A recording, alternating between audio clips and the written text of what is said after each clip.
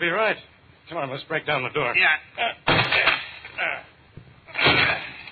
Harder, Rollins, harder. This should do it. Ah, that did it. Come on, let's go in quick. I don't smell no gas. Where's the light switch? Don't ask me. I'm a stranger here myself. Hey, hold it. Somebody's over there crying. Here's the light switch. Hey, miss. You, uh, Joan Thompson? Joan, Joan Thompson. Joan. Are you Joan Thompson? Are you the cigarette girl in the Boulevard Club? Yes. You wanted for the murder of Henry Bryson. No. You left the No. club with him tonight, didn't you? Yes, yes, I did. Took him home in your car, didn't you? Yes, yes, I did. Okay, we found Bryson's body on a country road a couple of hours ago. There are blood stains in your car. Explain that. All right. All right, I killed him. I did it. I did it. That's better. What did you do with the gun? I gave it. You gave it to somebody. Who? I don't take it. Look around, see what you can find, Rollins. Yeah, I'm looking, Inspector. What did you do with that gun, Miss Thompson? I don't know. I don't know. Hey, Inspector, here's a telephone number that may mean something. Look, right here on the top of this pad. Let's have a look. Well, uh, I'll say it means something. You know that number, Inspector, hey? Know it. I could dial it in my sleep. That phone number is Boston Blackie's.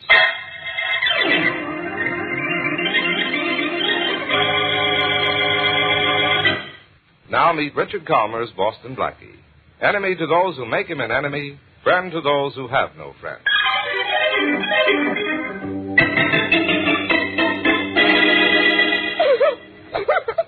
Look, Miss Thompson, crying isn't going to do you any good. You're going to answer my questions if it takes forever. I told you everything I know.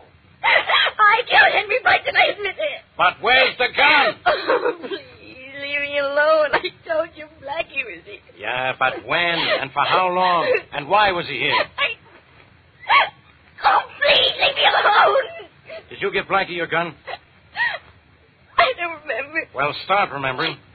Did you give your gun to Blackie? Yes. Yes, I gave it to him. Okay, Miss Thompson. That's all I wanted to know. Give me a hand, Rollins, for taking this girl to headquarters. Okay, lady, let's go. Hey, Inspector, this doll don't look too good, eh? Okay, so maybe she doesn't feel well. Maybe she needs a doctor. And maybe Blackie won't feel well either when he finds out he's going to need a lawyer.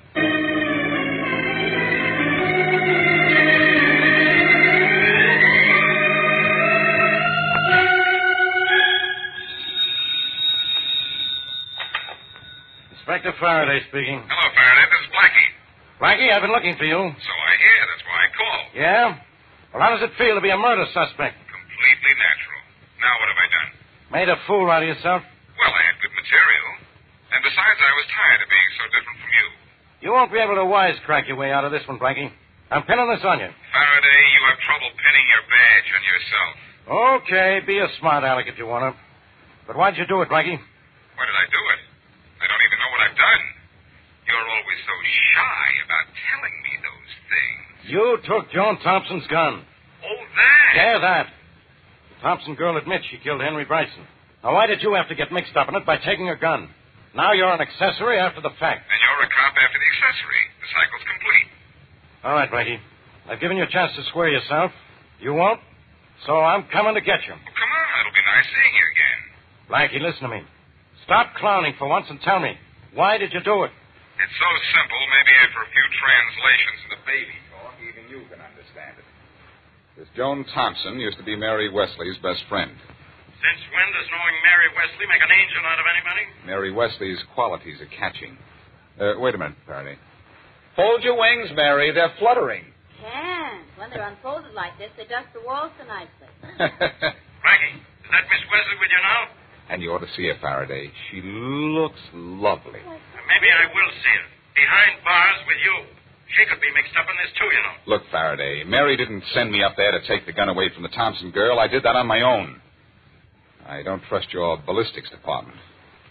By the way, what caliber bullet killed Henry Brightson? None of your business. Well, I'm going to make it mine to keep you in business. So long, Farraday. When I have your killer, I'll deliver him to you all wrapped up.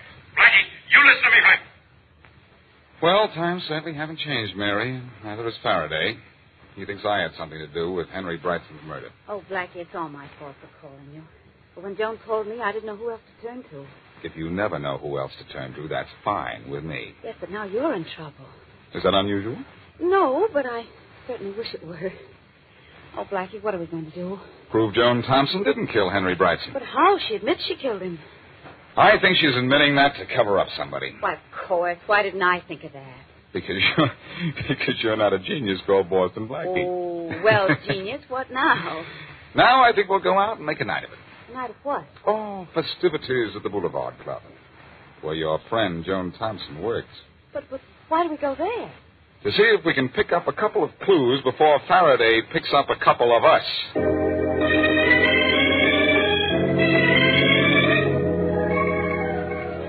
As you can see, ladies and gentlemen, Mr. Williams is completely in my power. Hypnotized. Blackie, is he a fake?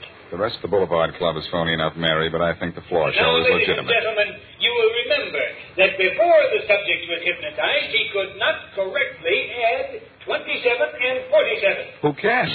Now, while he's hypnotized, I will give the subject three figures to add, and his subconscious mind will calculate the answers with the speed of machinery. If this works, I should have been hypnotized in school. Weren't you? This, Oh, ladies and oh, gentlemen. Mr. Williams, 257, 349, 581. Add those numbers together and give me the answer. 1,187. Ladies and gentlemen, add those figures yourself and you'll see that the answer is correct. Blackie, is it? I don't know. I'm still working on Oh, it. darling, don't write on the Now, ladies and tablecloth. gentlemen, I think our subject should wake up. Mr. Williams, Mr. Williams, wake up, wake up. Hmm? Oh. Yeah, sure. Now, Mr. Williams, give me the correct sum of 257, 349, and 581. Quickly. Are you kidding? this man would get through life better if he were hypnotized. Me too. thank you, ladies and gentlemen. And thank you, Mr. Williams. You've been a good sport. Oh, shucks. Is that the end of the floor show? Seems to be.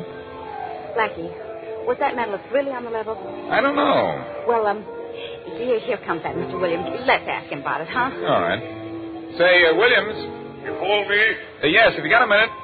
Uh, I'm awful sorry. I, I've got an awful memory for names and faces. I, I don't think I remember. Oh, you don't know us, Mr. Williams, but uh, uh, we'd like to ask you what it was like to be hypnotized. Were you really hypnotized? I'm afraid I was. Then there's really something to it, huh?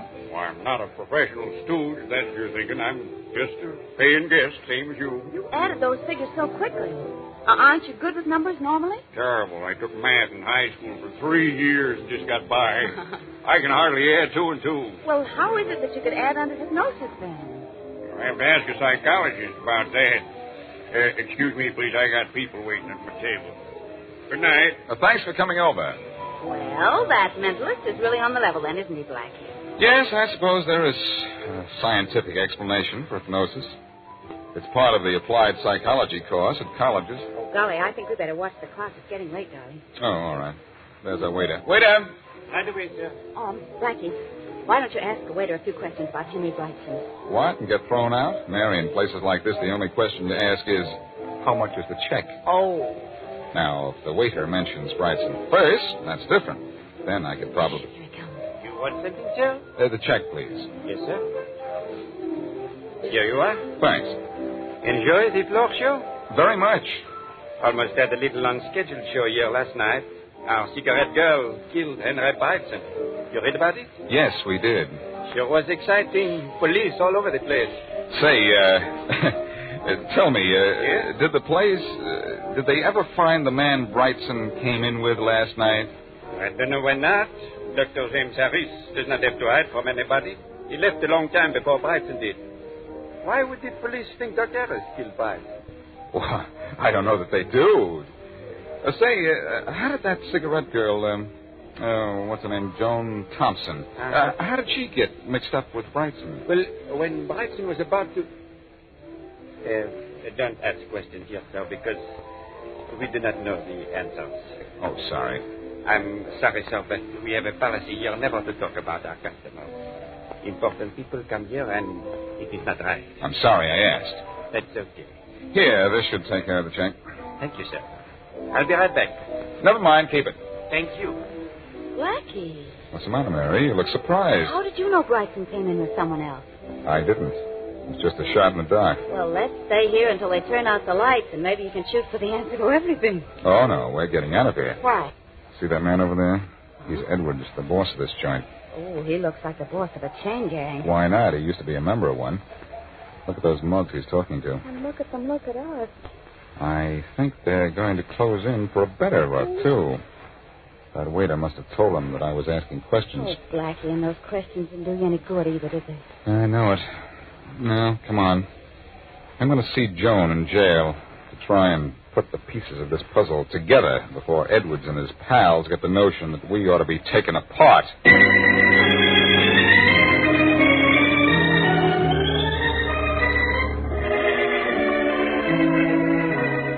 Uh, there's a doctor to see you, Miss Thompson. A doctor? I don't want a doctor. A friend of yours asked me to see you, Miss Thompson.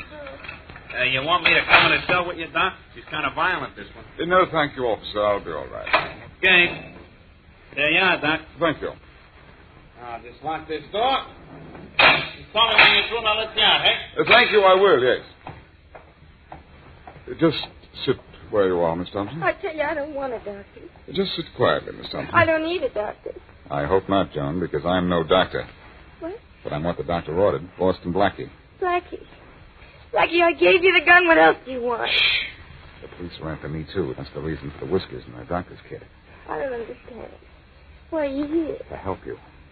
Nobody can help me. Look, Joan, I've just come from the Boulevard Club. Something's wrong there. Now, before you left last night, did anyone force you to do anything at all? No. So when I got through, I got my hat and my usual cup of coffee and left. You're covering up for somebody, Joan. No. Who? Who killed Henry Brightson? I did. Joan, will you stop No. lying? Who's forcing you to say that? I killed Henry Brightson. I killed him. I killed him. I killed him. I admit it. Now leave me alone. Joan, don't do this to me. I've hidden your gun because I thought you were innocent. Now tell me the truth, will you? Go away. I killed Henry Bryson. I admit it. I killed him. What more do you want? All right, Joan. If there's nothing more you can say, there's nothing more I can do.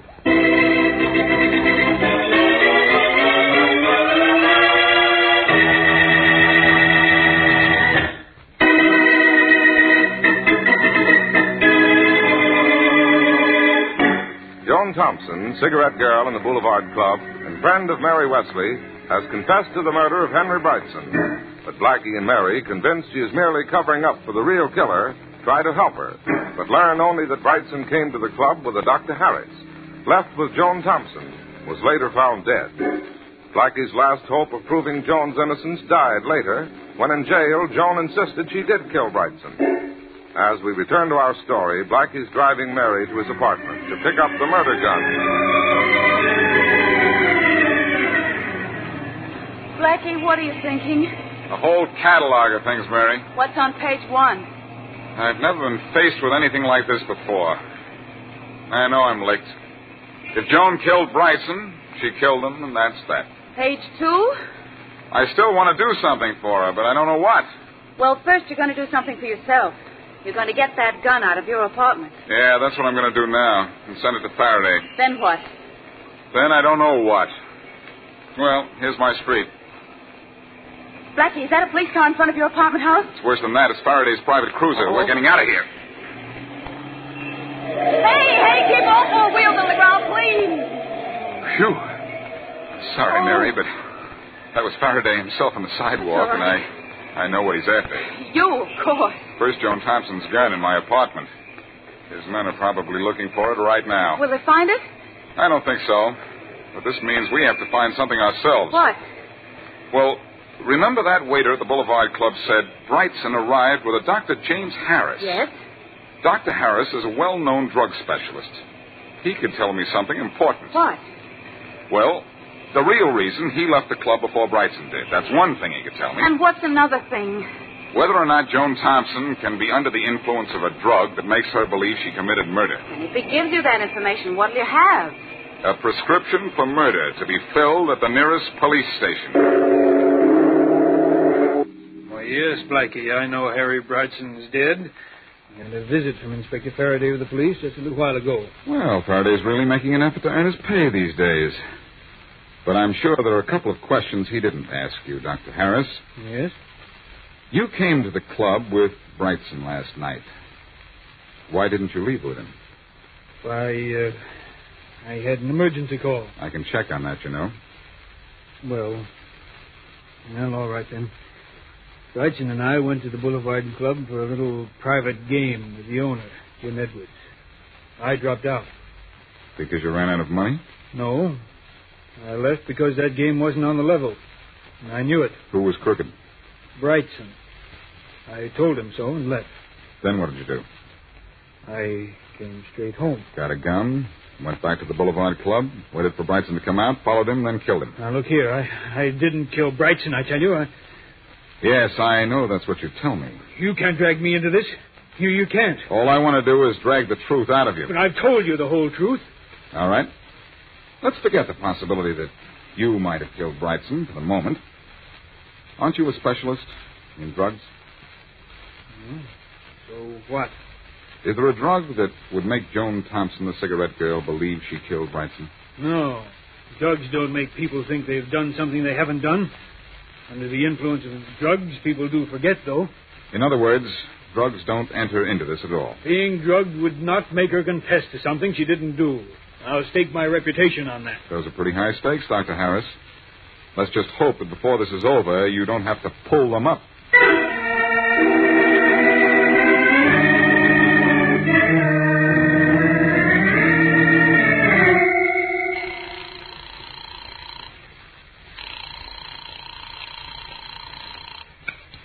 Hello? Mary, this is Blackie. I've just seen Dr. Harris, and drugs are out. Oh, dear. But something else is in, and if my hunch is right, I'm in, too. What do you mean? Question. Why did Brightson leave the club in Joan's car when his own was parked in a lot outside the club? Answer? His car broke down. Oh, Blackie, Joan told us that. Yes, but we're going to have a look at that car of his. Because if it didn't break down, it's going to break up this case.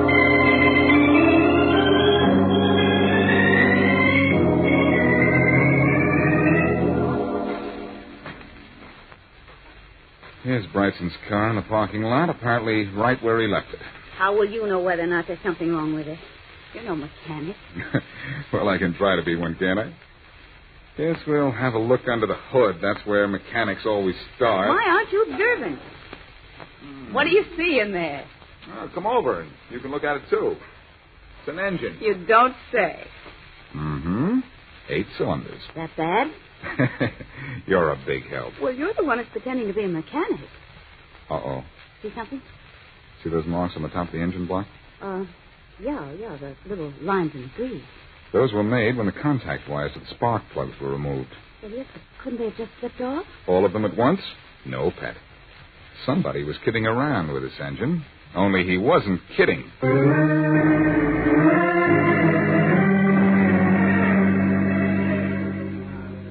Good evening, sir. Good evening, miss. Good evening. Oh, you're the same waiter we had here last night. How nice. I'm glad you liked the Boulevard Club enough to come back the second night. Oh, yes, we enjoyed it last night. Especially the floor show. Oh, I hope you have not come to see the mentalist. As a matter of fact, we have. We hoped we might be able to volunteer as subjects. I'm awfully sorry, sir, he is not here any longer. Oh, we missed him. But we have a new act that is excellent. I'm sure you will like it. Yes, I'm sure we will. Now, what would you like for dinner this evening? We haven't decided yet. Uh, could you give us a few more minutes? Of course. All the time you want, sir. All the time you want. Well, Blackie, there goes your theory. And here I go to the telephone. What for? To call Farraday. Oh, Blackie, a little setback isn't going to make you give up, is it? No, Mary. A little information is going to make me give out.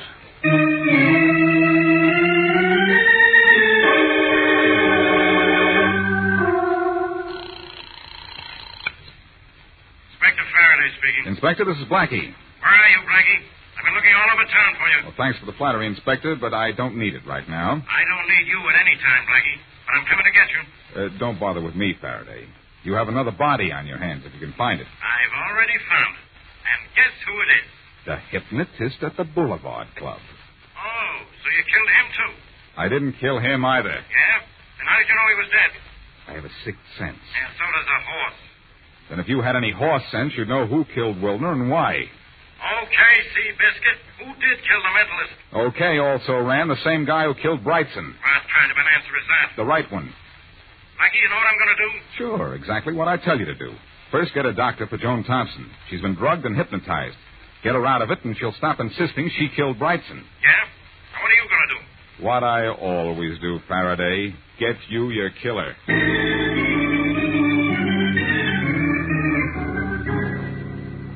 Want to do business with me, Blackie? That's right, Edwards. I have over some people every day who want to buy into this club of mine. I don't accept it. Oh, I'm not interested in your club, Edwards. Uh, but I am interested in your activities. Meaning what? I think you killed Henry Brightson. I'm not interested in what you think. I also think you killed Wilner, the hypnotist. I'm still not interested. I also think your gun killed them both. Oh, you do? Don't reach for your gun, Edwards. I need only one, and mine's quite handy. You're very fast on the draw. You're very slow on the take. I'm accusing you of two murders, and you don't seem the least bit concerned. Uh, by the way, uh, hand over that gun, will you? I have a permit for this pistol. But the permit doesn't say that you can kill with it. Hand it over. I want to look at it. All right, here. Now, you can sit down and make yourself comfortable. Because what I'm going to say to you will make you uncomfortable. That gun of mine did not kill Brightson. It did not kill Wilner. Hasn't been fired in months. I can tell that by looking at it. Are you satisfied? Yeah. Yeah. You can have it now. Now, will you be so kind as to put your gun away? Of course. Well, that better? Yes, much. Now, Edwards, I'm not going to ask you if you killed Brightson and Wilner. I'm going to tell you you did and why. Can you? Just listen. Brightson caught you cheating at cards and threatened to go to the police.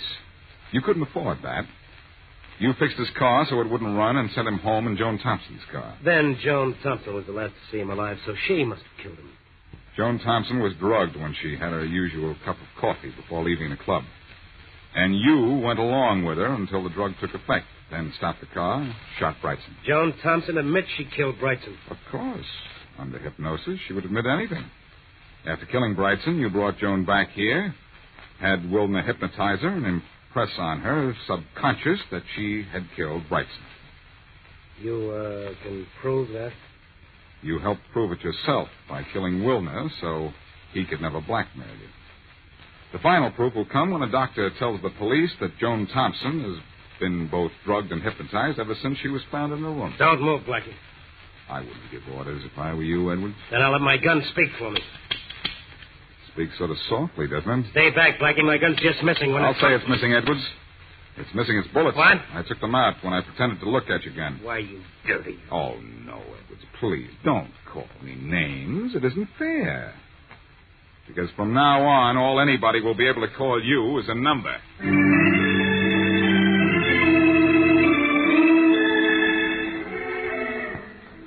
Everything checked, Mary. The police found out that our friend Joan had been drugged. And Joan was made to believe she killed Brightson because she was hypnotized. I still can't believe it. Look into my eyes. Huh? You are going to sleep. Oh, Look into my eyes. Yes, Now put your arms around me. yes. Now lift your face up to mine. Like this And now now. this.